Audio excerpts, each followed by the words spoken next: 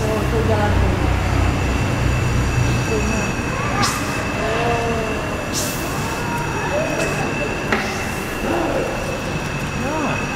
Ito speed was 23 25 revolutions a minute, and that, that speed was 58 hours.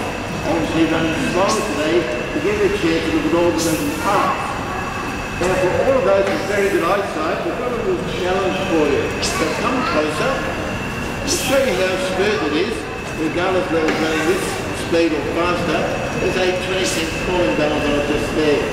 Now it's not stuck in any way, it's sitting on its edge. Kevin's got another coin up there.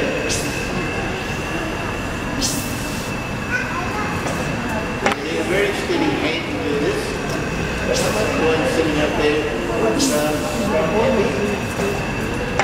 That's my taxation department. I wonder if that's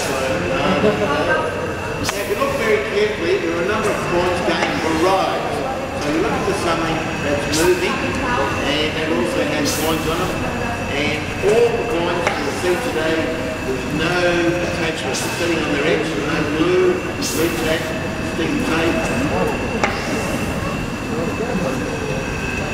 So how many coins can you find? Please let me know, but I don't know.